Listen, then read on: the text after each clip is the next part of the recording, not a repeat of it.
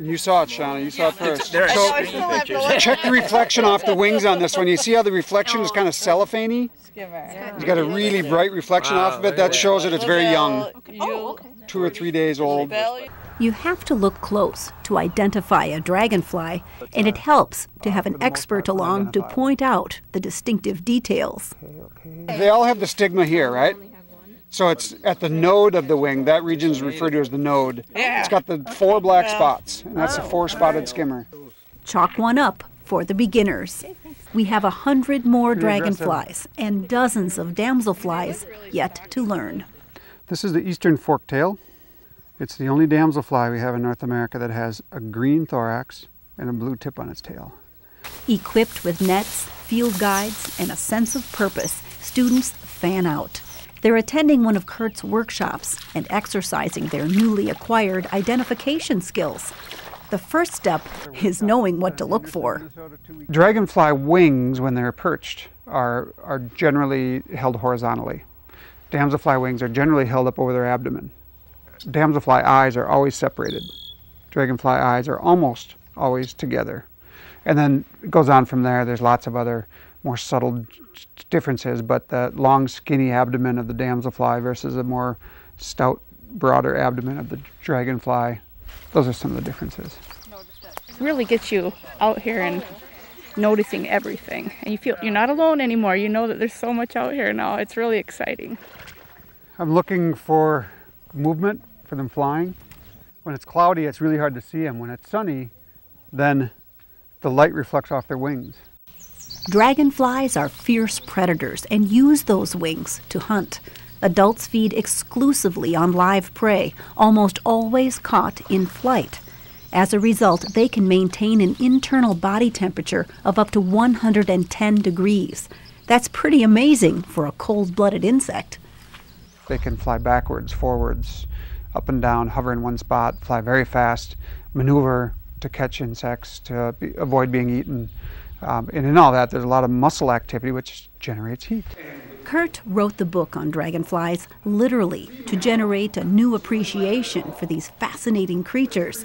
He lectures, presents workshops, and contributes to the DNR's Odonata Survey Project. Spots, definite spots. Yeah. He's fully aware that for most of us, a proper identification is tough. So concentrated time in the classroom completes the workshop. Which would make it a spike tail, so. It's not all that terribly easy to get started. There's definitely a learning curve.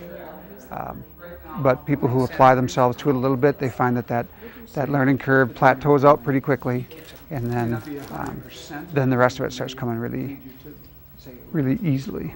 We just need to learn more about everything that's out there. So, and if it's not a good birding day, it's probably a good dragonfly day. Birders really get it. They know the little subtle eye ring on a warbler or a wing patch or something like that. That's kind of the level of identification we have going on with these guys. Except you can hold these in your hand, um, and you don't have to look through binoculars at 60 yards to try and identify them. So in some ways, it's easier. A lot of people think that identifying birds is hard, but yeah, if you can hear them and learn the songs, that's that's pretty easy. These guys, you need a net, you need to chase them down, so and have the field guide there. Uh, but again, they're in certain groups, and once you learn the main groups, you're you're going to have a pretty good idea, and you can have them up close and take photos and identify them sure right up close. How you have good looks at them right there in hand. So You see how she's still brown. She's very, very young. She's only probably a day old. She'll turn blue, but the black patterns are visible on it. Now we're getting into hand lens territory. What I'm looking at is the those claspers, those appendages at the tip of the abdomen. Resource specialists and interested citizens are in this workshop so they can learn to identify dragonflies and damselflies on their own. They'll be at the forefront of a push to learn which insects live where in the state. what we want to do is actually learn what species we have in the state, what habitats they're tied to, what we have in the different counties. Because how can you know what you're losing or what's changing unless you know what's there to begin with? And right now, we don't know. So far, dragonfly information in Minnesota is spotty at best. Kurt's worked his corner of northeastern Minnesota pretty hard and found 74 species in Lake County alone. but other counties have never been surveyed and have no records at all.